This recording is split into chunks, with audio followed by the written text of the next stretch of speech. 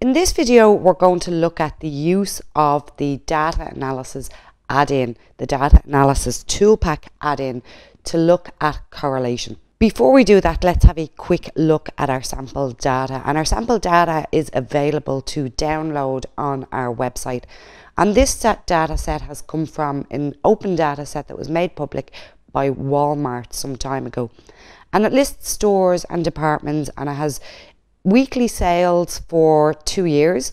It then has the store size, it has the temperature for that week, the fuel price, the consumer price index, and the unemployment. And what we're going to do is we're going to look at the correlation between these values and see is there any correlation between these values using the data analysis toolpak. Now to turn it on, you need to go to file and you need to go to options. And in options, you need to go to add-ins and in Excel add-ins, you need to turn on the analysis toolpak.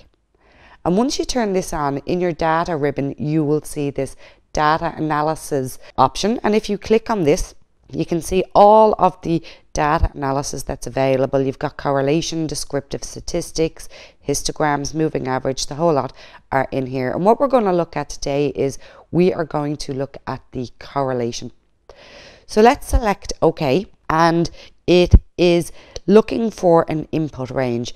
Now the input range we're going to take is we're going to first look at the correlation between consumer price index and unemployment. So I have selected all of the data there. I've grouped it by columns. Our labels are in the first rows and we're going to put this on a new worksheet and select OK. And once you do this, you will be given this little chart showing any correlation between consumer price index and unemployment. And we can see that there is a strong negative correlation. So a strong positive correlation would be closer to a positive 1. No correlation will be close to 0 and a strong negative correlation will be close to minus 1. So we can see that there's a strong negative correlation between the consumer price index and unemployment. Just returning to our data set now, if you wanted to see a correlation between all of these data sets, again, it is rather simple. We will go to data analysis, we will go to correlation and select OK. And this time we will select all of the data set. Again, we have our labels in first rows and put it on a new worksheet and say OK. And now we get a table and we'll just resize all of this table. And this table gives us the correlation between the different variables. So our weekly sales well it's it's one we can kind of ignore weekly sales to weekly sales.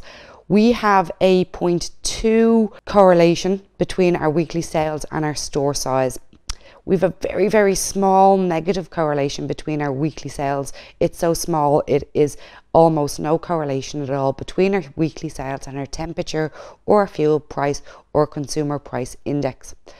But if we look over here at our fuel price, we seem to have a very positive correlation between our fuel price and our consumer price index.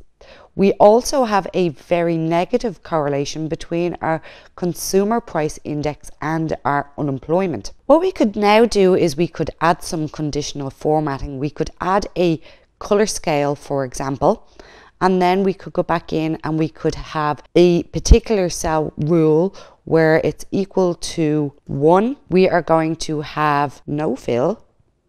So now we can ignore all of the ones and we can see anything then that has a strong positive correlation is coming up in a red. You can see it quite clearly.